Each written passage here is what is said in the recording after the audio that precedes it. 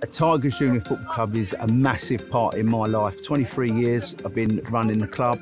Um, started with an under sevens team, took it all the way up to under 18s.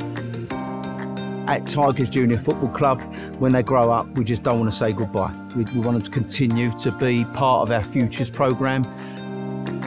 The Futures is a way, when, once their playing days are over in their youth section, um, we offer them the opportunities of coaching or refereeing, so they're, they're not left behind.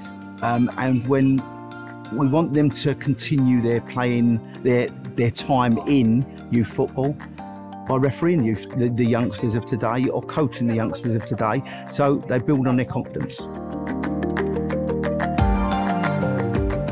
Tigers is a really big thing for me because I've always loved football and it's the first club I've been at. I've been here since I was six and I'm still here now.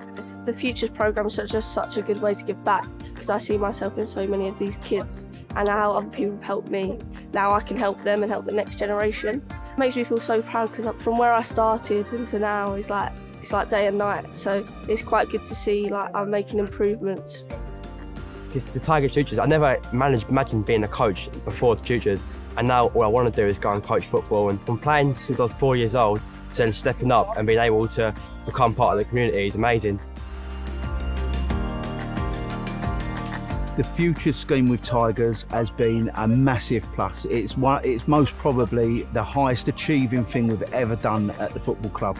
And to see 14, 15, 16 year old children wanting to come over to do training instead of wanting to do other things that normally like teenage children are doing and to, to know that they're going to build up on their futures to become coaches, to become qualified referees. So the more futures we've got to help out on a Saturday morning with a bit of guidance from us older coaches, we can carry on thriving.